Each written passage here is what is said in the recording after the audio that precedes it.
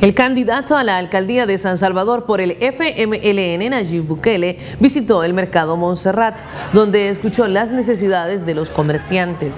Entre las peticiones se encuentran la seguridad y además solicitaron al aspirante la reactivación del centro de abastecimiento.